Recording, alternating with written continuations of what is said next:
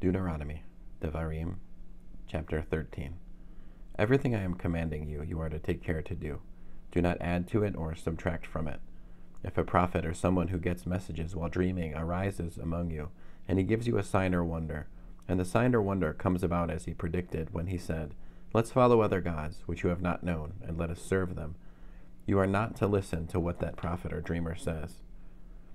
For Adonai your God is testing you in order to find out whether you really do love Adonai your God with all your heart and being. You are to follow Adonai your God, fear him, obey his mitzvot, listen to what he says, serve him, and cling to him.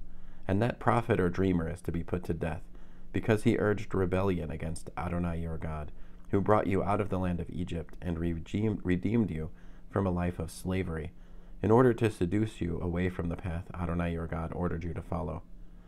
This is how you are to rid your community of this wickedness.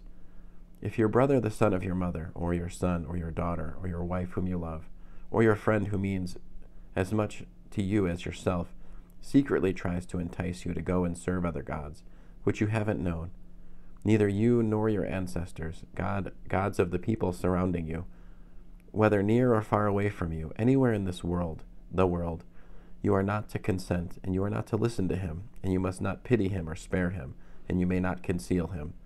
Rather, you must kill him. Your own hand must be the first one on him in putting him to death, and afterwards the hands of all the people. You are to stone him to death because he has tried to draw you away from Adonai your God, who brought you out of the land of Egypt, out of a life of slavery. Then all Israel will hear about it and be afraid, so that they will stop doing such wickedness as this among yourselves.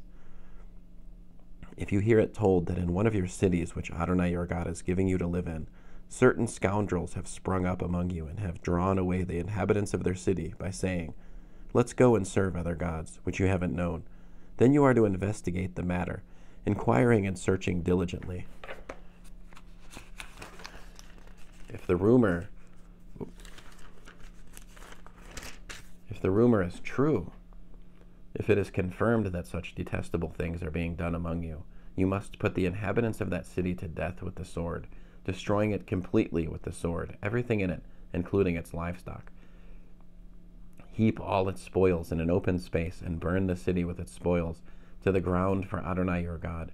It will remain a tell forever and not be built again. None of what has been set apart for destruction is to stay in your hands.